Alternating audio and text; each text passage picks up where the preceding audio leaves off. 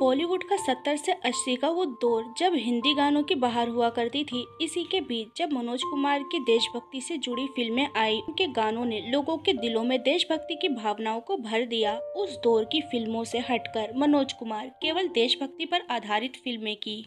जिन्होंने पूरे देश के जनमानस पर अपनी आमिर छाप छोड़ दी। लोग मनोज कुमार की फ़िल्मों से इतने प्रभावित हुए कि उन्होंने मनोज कुमार की जगह भारत कुमार के नाम से पुकारने लगे। लेकिन उसी दौर में एक ऐसा एक्टर भी हिंदी सिनेमा जगत में आया जिसमें लोग मनोज कुमार को देखने लगे।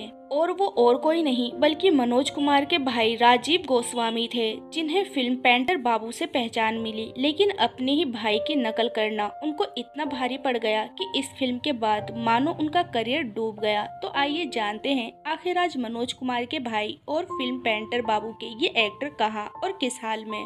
गुजार रहे हैं अपनी ज़िंदगी। राजीव गोस्वामी का जन्म 12 जून 1971 में दिल्ली में हुआ था। हालाँकि जैसा कि हमने आपको बताया, इनके बड़े भाई मनोज कुमार हैं और इनकी बहन का नाम नीलम गोस्वामी है, जिनकी शादी फ़िल्म डायरेक्टर अशोक भूषण से हुई थी। जिन्होंने सुपरहिट फ़िल्म सिडनी के साई बाबा बनाई थी। मनोज कुमार और राजीव गोस्वामी के पिता का नाम एच आई गोस्वामी था और माँ का नाम कृष्णा कुमार था। आपको बता दें, मनोज कुमार के चाचा ने हिंदी सिनेमा में अपनी पहचान बनाई जिसके बाद धीरे धीरे करके मनोज कुमार के पिता मनोज कुमार और उनके भाई राजीव गोस्वामी ने भी हिंदी सिनेमा में अपना कदम रखा। लेकिन सबसे ज़्यादा सफलता अगर किसी को मिली तो वो थे मनोज कुमार। हालाँकि राजीव गोस्वामी की बात करें तो कहा जाता है कि इन्हें पेंटर बाबू के बाद किसी भी फ़िल्म में पहचान नहीं मिली।